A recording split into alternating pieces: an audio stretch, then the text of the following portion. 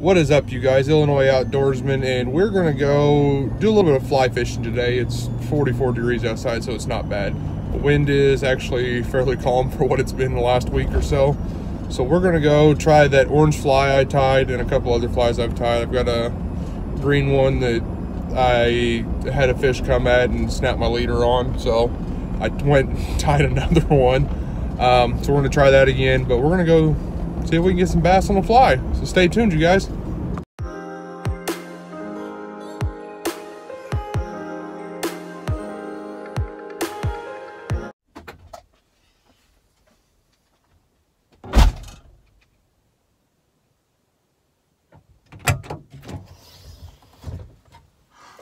All right, you guys, so I'm gonna start out. I got my fly rod and everything back here. I'm gonna get it all set together.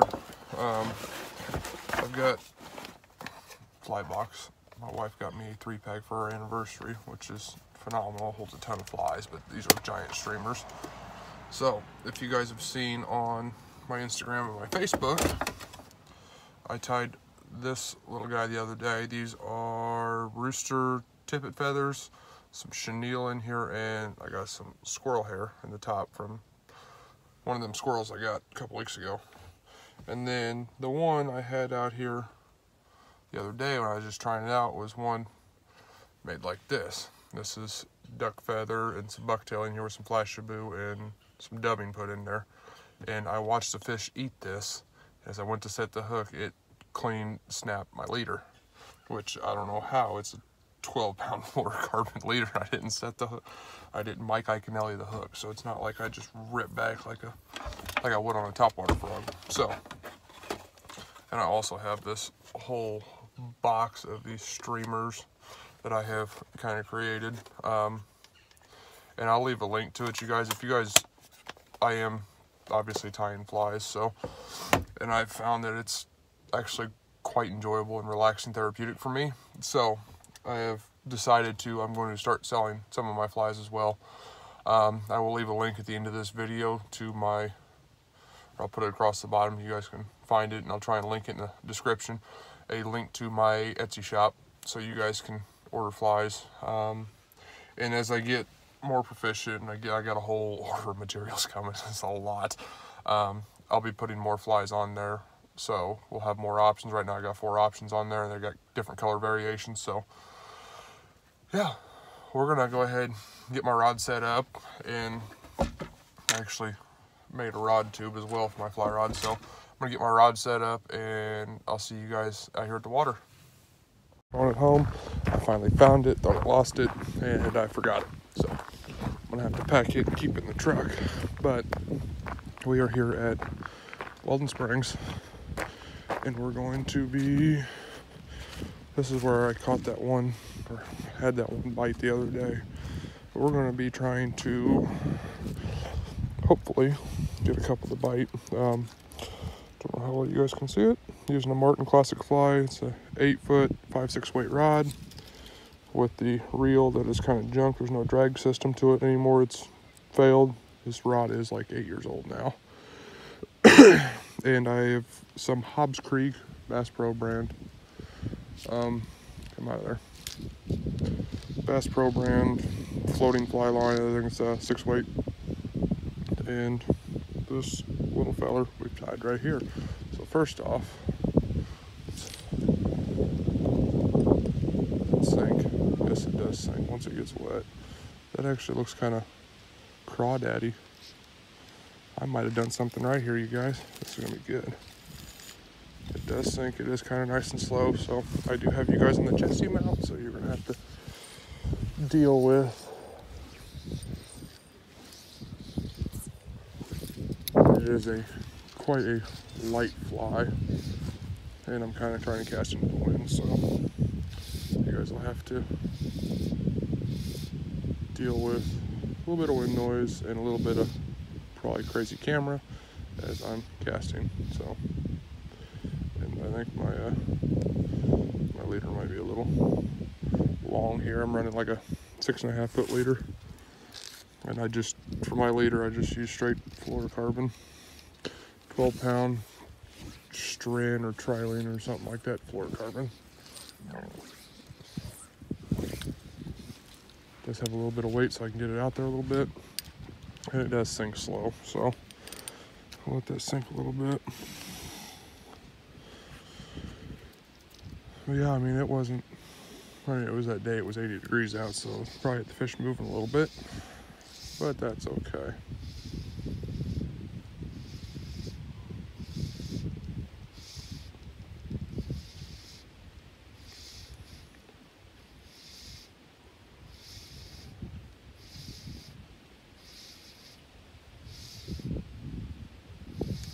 Right here in front of me, and I just pulled that into.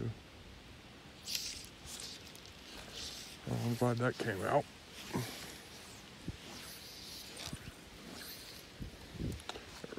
Decent cast. It's amazing when you cast with the wind. And sorry, you guys, I don't know which side my uh, microphone is on here on my filming with my phone, but that's okay.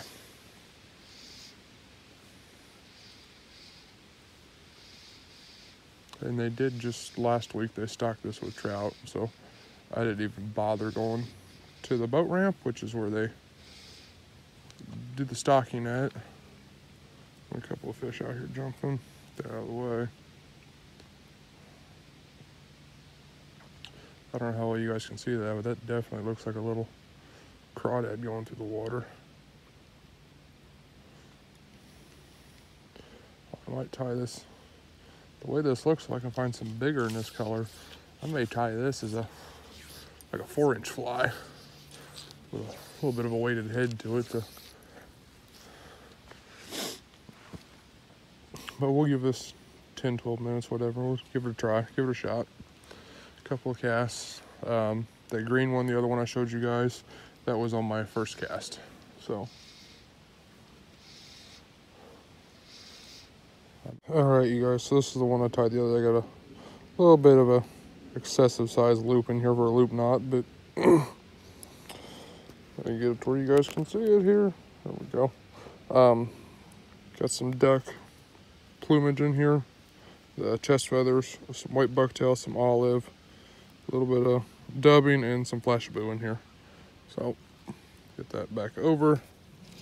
And you guys, this is once you get it wet, it sinks beautifully. And that duck feather and that flashabou works wonders.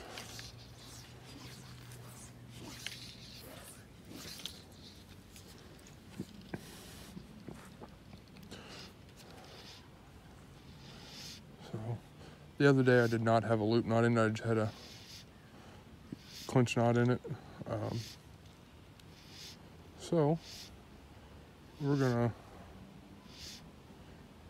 hopefully this will give it a little more action coming through the water. I'm still trying to just kind of figure out speed, how much it's gonna sink.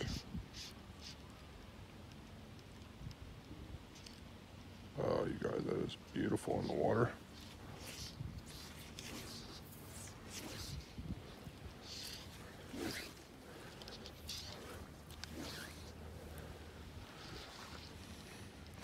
I'll let that sink for a minute. A little chilly out here. Your hands get uh, cold and wet, that's for sure. Or wet and then cold. Especially when it's 40 degrees outside.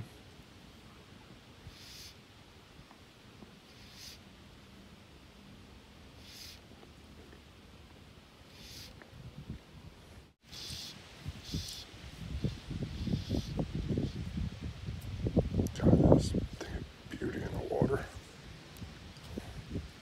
I don't know how well you guys can see that right there.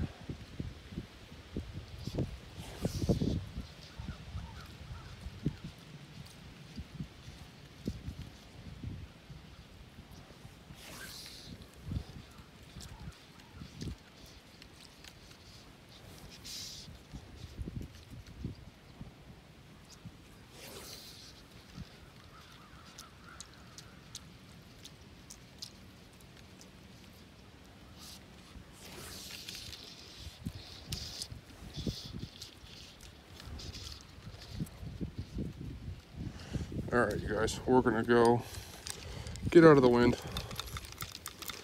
go try a different spot. See what else we can get. See if we can get anything, honestly. Outside of that one bite, which I'm super happy we got the one bite, but let's go see what else we can get. So I will see you guys at the next spot. So we're all at a different spot. If you can see way off in the distance down there is where we were. We're on the other end of the lake now. A lot calmer. Hi, little squirrel. If you weren't here, I'd be hunting you. Um, but I did check my fishing license as well, and I do, in fact, have an inland trout stamp. So, with that being said, if we do catch a trout, we can legally keep it. So, that's always a bonus. I've never actually caught a trout, so first time for everything. So we're gonna start off here again with this green one. And my casting range here is a slim to none, so there are trout hitting out here though.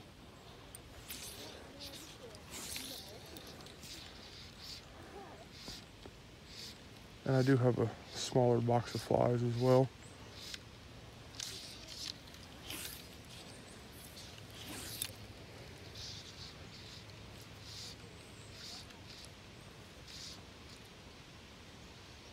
Ooh. Well, I've officially caught my first bit of garbage on um, fly rod. This just is a kind of a crappy spot to try and cast.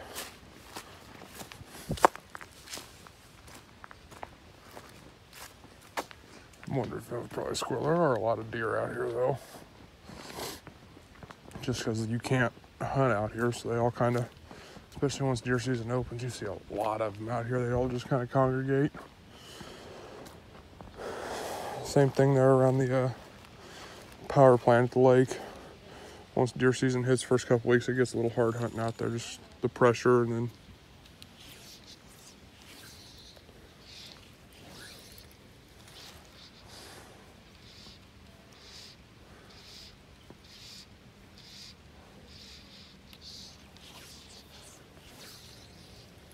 yeah. So every time I twitch this, I can just see a little bit of flash. But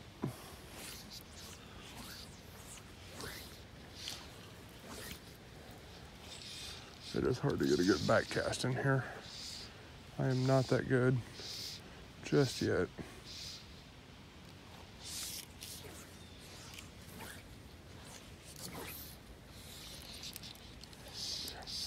Definitely not left-handed.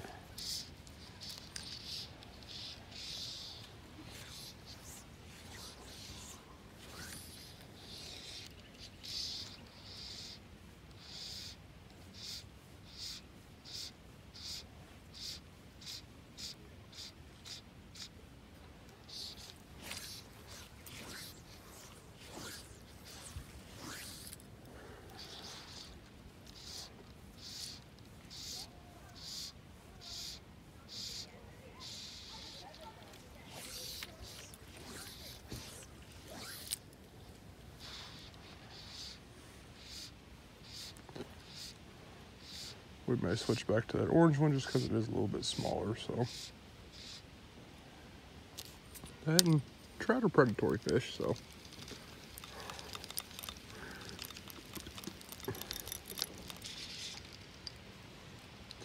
I think we're gonna do that. We're gonna first we're gonna move down here a little bit because it opens up and I might be able to just overhead cast instead of side arm it.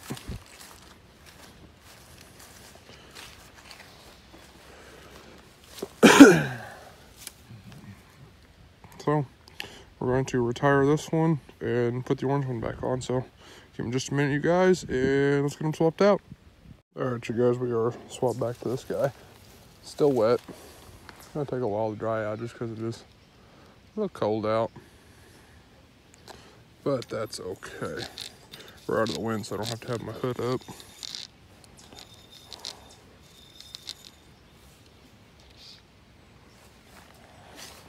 Let's try with the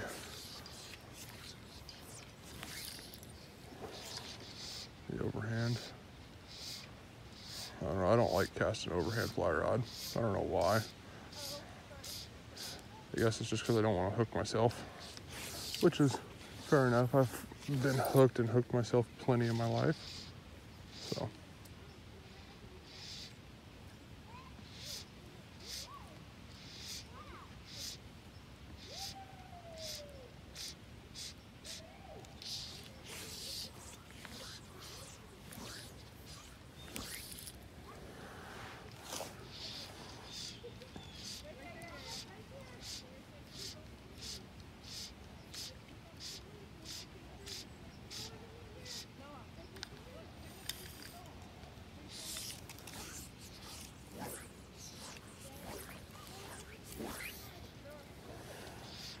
That wasn't a bad left-hand cast.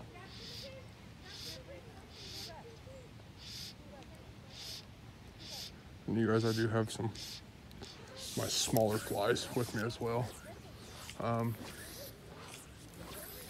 I do know last year when they stocked us with trout, these guys right here catching them on two and three inch minnows, so I don't think the size is going to deter them.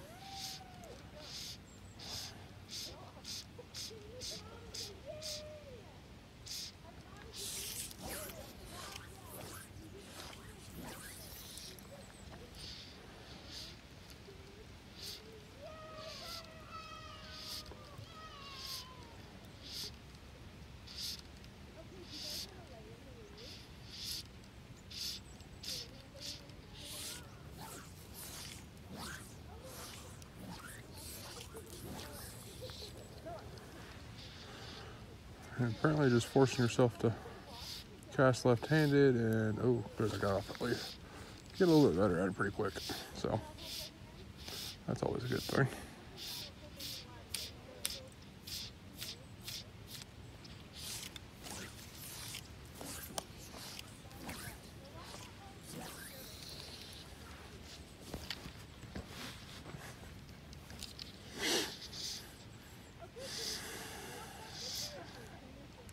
I growing a crowd too. I don't know. But they're just waiting on me.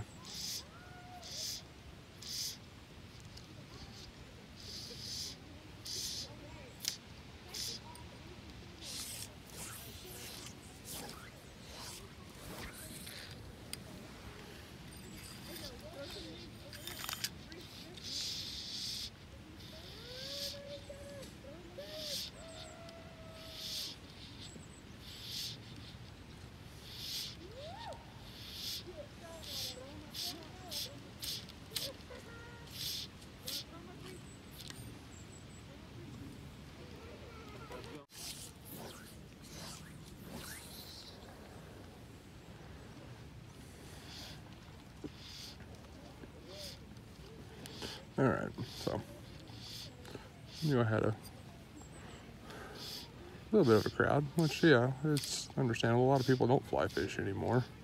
And it is kind of a dying art, but I feel like being a all-around fisherman, you've kind of got to have a handle on doing a lot of it. And honestly, in life, that is what I have found. I am not a professional of anything, but I am really good at a lot of things.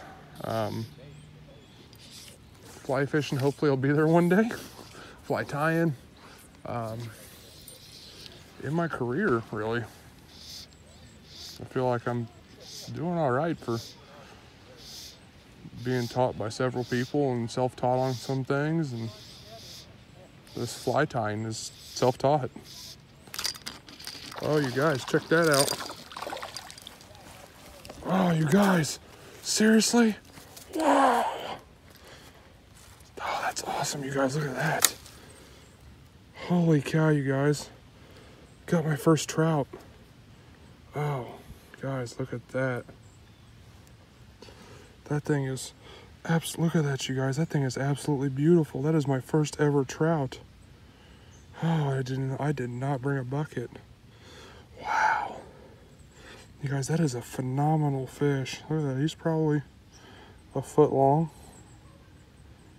We're going to go ahead and, he's over a foot. We're going to go ahead and we're going to keep him, you guys. He hammered that thing too. That's awesome. So you guys, we are definitely going to be uh, doing a cook and clean. Look at that. Easy there, Hot Rod.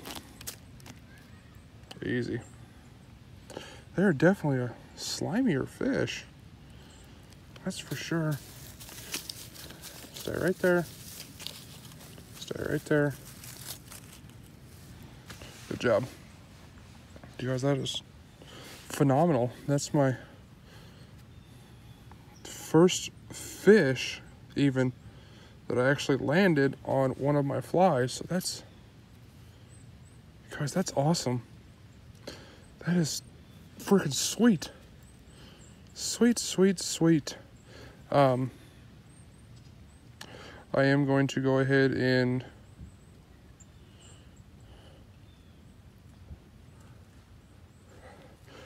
do some research here real quick. Um, he's probably going to die anyway, so I'll let him be. But I'm going to, guys, so he appears to be a legal trout, so we're good. So we're going to keep him right there, and let's see if we can get, see if we can get two. If not, I'm happy with the one.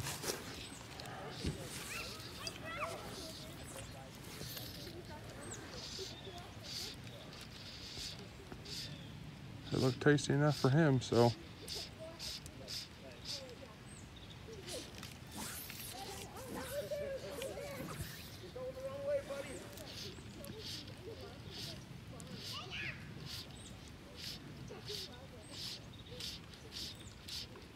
Guys, that's awesome. I have never caught a trout before in my life.